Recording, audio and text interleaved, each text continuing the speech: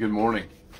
This is Pastor Mark Driskill here from Oakdale Free Methodist Church. It's Tuesday morning, January the 10th, 2023. Glad to be able to minister with you today.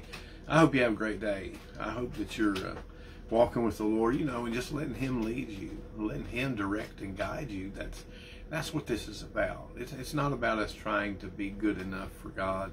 It's not about us trying to show people that we're more right than they are.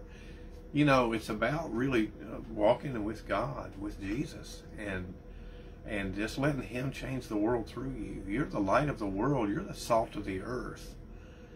If salt loses its saltiness, it's no good. So don't don't lose your saltiness. And and how do you lose your saltiness? By uh, you know uh, allowing yourself to fall into compromise, allowing yourself to to rely on yourself instead of Him, and um, going to sleep in your faith and, and staying, trying to live it your way and in your strength. And uh, don't don't do that. Don't fall into that lie. Um, and don't neglect the Word of God. And don't neglect prayer. Uh, these are the things that keep us close to the Shepherd, and that's what we need, right? Let, let's pray and let's get into the into the Word. Father, God, we need you so much. God, you're our King.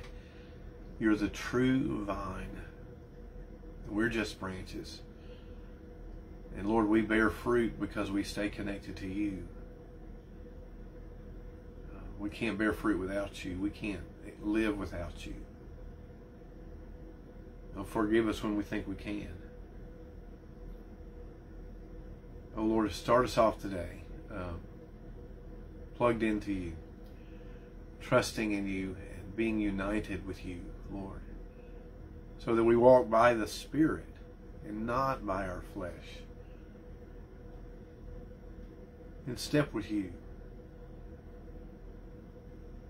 Lord, that's what we need today. I pray for every person who's listening right now that you would become so close and so real to them.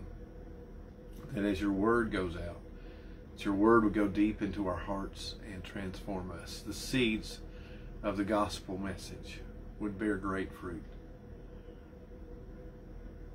We pray for those that are hurting today and sick that you bring your healing. We pray, Lord, for those that are lost and wandering that they would hear your voice calling them home. Pray for those in distress today that they would hear you say to the storm, Peace, be still, and they would rest in your strength. Lord, help us today. We give you this day. We give you these moments together uh, for your glory and your purpose. In Jesus' name, amen. today, uh, we're in uh, we're in Luke 22 at a very the we read yesterday about the dark hour, the hour of darkness when the enemy uh, seems to be winning. And uh, Jesus is in the Garden of Gethsemane. He's taken into custody. Uh, the disciples are scattered. And, and then uh, we see a, a, really sad thing that takes place. Something that Jesus predicted at the Last Supper. And uh, let me read it to you. In verse, um, sorry, I got lost my place here. In verse 54 of Luke 22, Here's the story. Then they seized him and led him away, bringing him into the high priest's house. And Peter was following at a distance. And when they had kindled a fire in the middle of the courtyard and sat down together, Peter sat down among them. Then a servant girl, seeing him as he sat at, in the light and looking closely at him, said, This man also was with him. But he denied it, saying, Woman, I do not know him. And a little later, someone else saw him and said, You're one of them. Peter said, Man, I'm not.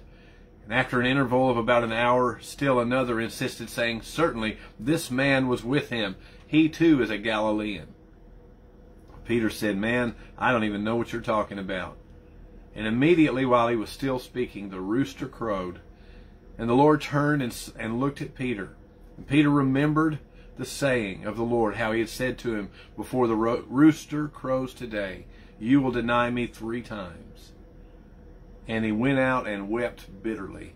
What a sad moment here. What a what a defeating moment. Peter if you'll remember, Peter was the lead disciple. Peter was the disciple to whom Jesus said, On this rock of confession, I'm going to build my church, and the gates of hell will not prevail against it. Peter was one that said, to whom Jesus said, You are, uh, you are now the rock. And, uh, you know, Satan has desired to sift you like wheat. And when you have turned, uh, strengthen your brothers. And uh, Jesus had put a lot of stock in into his relationship with Peter. Uh, Peter loved Jesus deeply, uh, desperately, and um, you know, but what we see here is a tragic decision, a tragic moment in Peter's life. Uh, I, I look at verse 62 and it says, And he went out and wept bitterly. Peter was devastated at his own failure. And the discovery that Peter made in this dark moment was a discovery that all of us make from time to time. And, and the discovery was Peter realized he simply was not enough. Um, when you when you discover that you are not enough, that can be devastating. I mean, how how much time do we spend uh, trying to get enough education so that we can say I'm smart enough? How many times do we? How much time do we spend at the gym or in the workout room uh, trying to get ourselves in shape so I can say I'm strong enough? How much time do we spend uh, learning how to relate to people so we can say I'm I'm savvy enough, I'm I'm I'm cool enough? How much time do we spend in the mirror saying I'm attractive enough? And how much time do we spend trying to convince ourselves that we're spiritual enough, that we love the Lord enough? Uh, sometimes we compare ourselves to other Christians so that we can say, well, at least I'm not like him. At least I'm not like her. Or compared to that person, I'm really doing well. And, and we get to a place where we even begin to think, you know, I'm okay. I'm okay with God. And, uh, and I'm good enough and so, and sometimes God brings us to a place of revelation, a place of realization, and it's hard. And this, this is what happened to Peter. Uh, he discovers in this tragic moment that he's not enough. He's not cool enough. He's not smart enough. He's not uh, courageous enough. He's not strong enough. He's, he's not enough. He couldn't do what he swore to Jesus he was willing to do. And when you look at it and you look at, at these things as, as you read the story, the, the first thing we see is that he wasn't commit, his commitment wasn't enough. You know, at the Lord's Supper, let me read what Jesus said to him in verse 31 of the same chapter. He said, Simon, Simon, behold, Satan demanded to have you that he might sift you like wheat. But I've prayed for you that your faith may not fail. And when you've turned again, strengthen your brothers. Peter said to him, Lord, I am ready to go with you both to prison and to death. Now, look at that concern. Lord, I'm willing to go to prison and to death. And Peter meant every word of it. Peter was ready to go. In his mind, he had what it took to give his life for Jesus Christ. He said, look, I'll, I'll go to prison, I'll go to death before I'll ever deny you, Jesus. And, and he meant it. And so here's the thing, is that sometimes we think our commitment is enough. That, well, I'm committed. And, and how, how often have you told yourself, I would die for him. I would, I would, you know, whatever, you know, I would do whatever I had to do to stand up. And, and people sometimes talk a big game of if persecution came in, in real tangible ways, in this country, I would stand up and I would be strong. And of course, I hope you would. But here's the thing is that my commitment isn't enough. I can I can be committed all day long and still fall short of God's call in my life. Because oftentimes a commitment is simply an extension of my own pride. It's, it's well, I'm committed. I've got it. Now, I'm not saying you shouldn't be committed, but we've got to have something more. Peter needed something more. Personal commitment wasn't enough. And then we read back in the story of the denial, it says in verse 54, Then they seized him, seized Jesus, led him away, bringing him to the high priest's house, and Peter was following at a distance. We see Peter following at a distance. And it says, and when they kindled a fire, well, what does that mean? Well, Peter, everybody scattered after they arrested Jesus. But Peter kind of said, wait a minute, wait a minute, I got to go make sure that he's okay. And so he followed, kind of hanging back a little bit so that he didn't get grabbed and brought to prison as well. And, and so Peter kind of hangs back, but he doesn't just go off and forget about it. He's concerned. He's concerned. He wants to know that Jesus is okay, but he doesn't want to get caught, which is wise. And so he's following from a distance, just kind of watching to see how things are. Maybe looking for an opportunity to, to help him get away. I don't know what was going on in Peter's mind, but he was concerned. But you know what? That concern he had wasn't enough you and I are all concerned. We're concerned about the gospel. We're concerned that people know Jesus. We're concerned about the need for transformation of our society. We're concerned about the commands of Christ and his call in our lives. We're all concerned. But Peter's concern wasn't enough. And for you and I, we're concerned, but but there's something more that we've got to have than simple concern. It's not enough for me to just have commitment. It's not enough for me just to have concern. As as important as those things are, there's something more that is needed. Now, as we move on, there's a, there's another thing that Peter had in this moment. It says, um, it, it says in verse 55, and when they kindled a fire in the middle of the courtyard and sat down together. Now, these are all the people that had had taken hold of Jesus, and all the people that were kind of out there trying to find out what's going on here. Um, and Peter sat down among them. You know, that took a little bit of courage. You have to admit. Peter's Peter sits down by the fire next to these people warming himself, and it took a little courage for him to, to bring himself into that situation where all a guard had to do was turn around and look at him and say, Hey, you're one of them, and take him off to prison too that took some courage. You have to admit. Peter was a courageous guy. I mean, he's the one that when Jesus was walking on the water, he's the one that got out there. You can you can criticize Peter for falling and, and beginning to drown in the water, but who was none of those other disciples even dared to step out of the boat. Peter had courage. Um, and so he, he was a strong man. Jesus called him the rock for a reason. So this was a courageous man. There was nothing cowardly about him. And so, but here's the thing: is that the courage is a beautiful thing. Paul, God tells Joshua, "Be strong and courageous."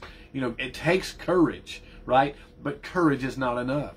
Peter had enough courage, enough bravado about him to say, "Well, I'm gonna sit right here, and I, I, you know, I'm ready to fight. If somebody wants to fight me, come on." You know, but they did something that he couldn't handle. If somebody tried to fight, challenge him a fist fight, he might have done it. But they did something that, that he could not handle they looked at it says here, let me see what happened to him.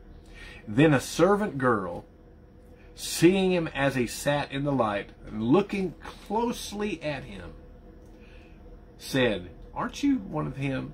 So she kind of did did something that that we don't like the world to do. She looked closely at him in the firelight. Want to get a closer look. Wait a minute. I've i've seen you somewhere before. You know a lot of us um, we have the courage to live for the Lord until people start looking too closely. We don't always want people looking very closely at our lives, do we?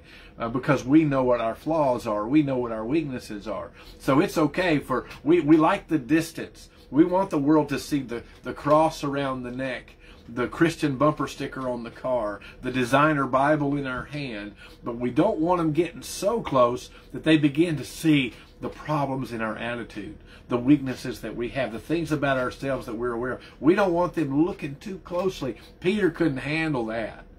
She looked just a little bit closer and said, Wait a minute, you're one of those guys. And Peter said, Oh, no, no, no, no, I'm not one of those. Kind of like we, we can be tempted to do today when people look at us and say, Oh, you're one of those Jesus fanatics. You're one of those uh, people who's probably a bigot. You're probably this. You're probably, you know, you're just one of those. Um, you know, I had to make a decision years ago that uh, if people want to identify me as a bigot, even though I'm not one, if they want to accuse me of that because of my stand for the gospel, then it's they can accuse me of that. They can call me whatever they want. I'm not going to hide from that and say, "Oh no, let me show you, let me prove to you that I'm just like you." Now, I'm going to stand for the truth, right? but and sometimes people will call me a bigot. Uh, they'll call me a homophobe. They'll call me a, what other kind of phobe they can come up with. I think that they're Jesus phobic, but but they'll try to call me all these things, and am I, I've got to be willing to be called that, even though I'm not that, right? I've got to be willing for somebody to say terrible things, and uh, you know, and so I, I, shared some stories of healings that I've seen happen, and, and a cynical person said, "You're you're just a liar." Um, you know, you're a liar. And well, I'm not a liar. I'm telling the truth. But they're going to call me, so I'm going to be. But so we don't always want to be associated, right? And so, but but Peter's courage failed him at this point. His courage could not carry him. So we see three things that weren't enough for Peter. We see first of all that his commitment wasn't enough. His commitment can only take you so far till it breaks down. Um, concern can only carry you so far until you decide, okay, this is too much. I can't take any more of this. And and and courage eventually breaks down. That's that's human courage. You can only be courageous for so long, and then, then those things that are that uh, can can come and, and beat that down after a while. Because in our flesh we're weak. In our flesh we will ultimately fail. In our flesh, we are not enough. You are not Christian enough. You are not godly enough. You are not love, loving enough. You do not pray enough. You do not love the Word of God enough. You do not share the gospel enough. You do not do the stuff enough, and neither do I. None of us are enough. And sometimes the Lord has to allow us to break down at the place we thought we were the strongest in order to realize how de- desperately we need His grace. Every minister I know at some point in their life wakes up and looks around and says, Lord, what in the world am I doing preaching the gospel? Who am I to tell other people how to know God? You know what, preacher, if you've never had that moment, I pray you do. It's one of those enlightening moments where you realize, you know what, I'm really not that great. I'm really not that holy. I'm really not that smart. I'm really not that, that able in myself. Uh, the Bible tells us that God made us adequate in Christ. And now there's our hint. That in one sense you are not enough, but in another sense you are enough. Let me explain that. Peter went out and wept bitterly. He had to come to terms with his own limitation. He had to come to terms with his own failings. And one of the one of the most difficult places in a Christian life is when we hit that wall of inadequacy and we realize I'm really not as great as I thought I was. I'm really not as self-reliant as I thought I was. I'm really not as as as uh, super spiritual as I thought I was. Now what? No, we see too. Um, let me kind of divert over to another tragic story the story of Judas who betrayed Jesus. Judas betrayed Jesus and ended up hanging himself. What's the difference between Judas and Peter? They both failed terribly. Well, G- Peter genuinely loved Jesus at the core of his being, and when Peter failed Jesus, he ultimately came back to Jesus. Judas loved Judas at the core of his being. And he felt guilty for what he did, but that doesn't mean he loved Jesus. It means he felt like he did something bad. I broke a moral code. I, I, I, betrayed innocent blood, is what he said. I have failed my own morality. But it wasn't a matter of I love Jesus. It was I failed what I, I, I, shouldn't have done that. I did a bad thing. But because his confidence wasn't in Jesus, he didn't go back. What if he had gone back to Jesus and, and pled for mercy? I don't know. I'm not going to try to answer that question. But listen to this. Listen to this. Judas turned on himself because that's where his faith was. Peter turned in repentance and brokenness to Jesus because that's where his faith was. You ultimately go back where your faith is. When you fail, they both hit the wall. You will, if you haven't hit the wall, you will. You'll hit that place where you disappoint yourself and you realize that you're not as great as you thought and you're not as able to live it by yourself as you thought you were. What happened in Peter's life later on? Well, of course, we know that after the resurrection, Jesus uh, renews his commitment. He, he restores Peter. He asked Peter three times, Do you love me? Peter had to do three confessions to make up for three denials. But that's not all he did. At Pentecost, we see Peter doing something totally different. At Pentecost, when the Spirit comes and he fills those that house with his power and presence, Peter stands up and speaks the gospel and says, You crucified him, but God raised him from the dead. Repent and be baptized, and you'll receive the gift of the Holy Spirit. Peter has a fresh boldness, a fresh power. And see, where his concern and his commitment and his courage failed, the presence and power of the Holy Spirit went beyond. I'm not enough, friend. But Jesus in me is more than enough. You hear the point there? You see, when I get to that place where I realize I'm just not enough, then I, I don't want to go out and destroy myself like Judas did. What I want to do is come to him and say, Lord, I need you because you're enough. You're enough. I'm not Christian enough, but Jesus is. He's very good at being himself. And so I invite him to fill me with his power where I'm weak where I am where I'm weak, where I'm limited, I let him fill me with his presence and his power. You see, friend, that's what that's what's enough. What makes you enough is not that you're super smart or gifted or good looking or all the things that may be true about you. Those don't make you enough in the presence of God. What makes you enough in the presence of God is the presence of God. And that comes through Jesus.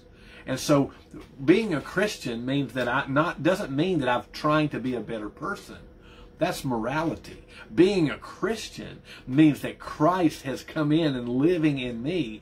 I have admitted that I'm not enough. I can never be enough. I'll never be committed enough, concerned enough, or courageous enough. And I'll never be good enough. I'll never be right enough. I'll never be strong enough or ever be smart enough to enter into His presence on my own. But when Christ comes into my life, I'm born again. And He manifests His own life through me.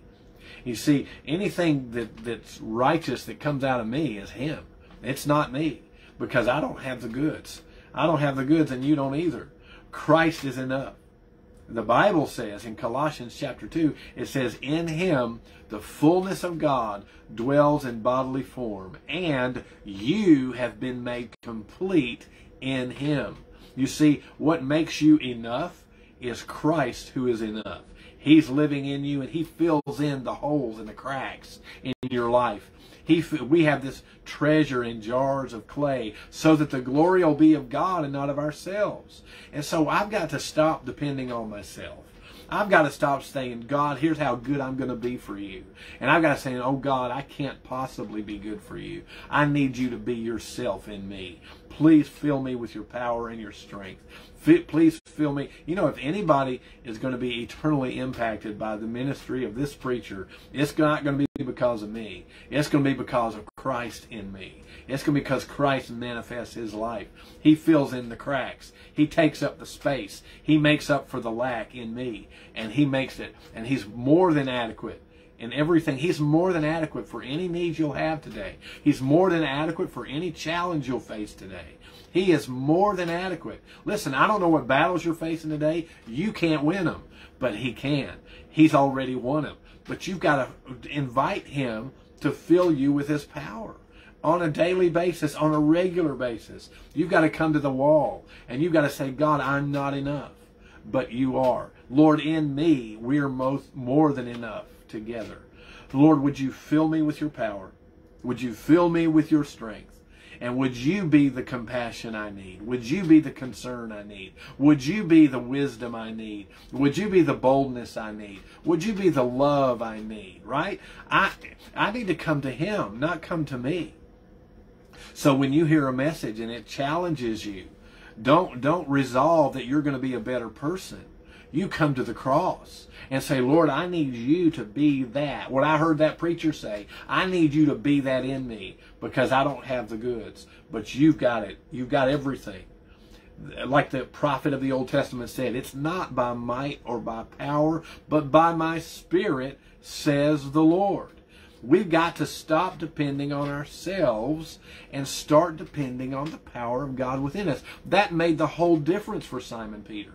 That made the total difference. 3,000 people that afternoon at Pentecost came to Christ because Peter stood up and he spoke up in the power of the Holy Spirit. It wasn't his courage or bravado or, or his, his uh, you know, winsome way of talking or anything like that. It was Jesus. And I need Jesus to speak through me today. I need him to speak through me right now. I need him to speak to your heart and mind right now. If I if he doesn't speak, it's pointless. Christ came that he might fill us with his presence. You see, that's what a Christian is, is a Christ carrier. Are you a carrier today? You can become a carrier by repenting of your sins, admitting that you're not enough. Just quit trying to be enough. Stop it. Stop comparing yourself to other people. Stop saying, well, at least I'm better than that or better. It doesn't matter. None of that matters. What matters is that Christ alone is worthy. And, and you need him in your life because you're not worthy. And so as he comes into your life, he cleanses, changes, empowers, and renews you to make you into his image. And that's what he's doing day by day in the life of a Christian. Are you trusting him to do that today? Are you trusting him to live through you today? Are you trusting His power instead of your power? Commitment is good, but it's not enough. Concern is good, but it's not enough. Courage is good, but it's not enough. What's needed is the power of the Spirit, the presence of God. Will you invite Him every day? Every day. Say, Lord, fill me with your power today. Fill me with your presence. Let me walk in your love. Will you do that today? Listen, you'll see a difference You'll see a difference in the way you feel, the way you talk, the way you act, the way you think. You'll see the, a difference in the way people respond to you. Uh, some will respond badly because they don't like Jesus, and that's okay. Just let them deal with that. Others will respond, those that are hungry and broken and hurting, they're going to come to you because they're going to see Him in you. And that's what we need, right? And so let's let's say to the Lord, Lord, right now in Jesus' name, Lord, I receive more and more of your presence. Lord, I'm inadequate. I don't I'm not enough. And I'm not going to try to be enough. I'm just going to open my heart to you and allow you to be enough in me. Lord, manifest your power and your strength in me, your presence, your love, and your joy. And Lord, uh, your, your promise is that those that believe in you out of their innermost being will flow rivers of living water. Lord, flow through me today that others may know you. In Christ's name, amen. God bless you today. Go in peace.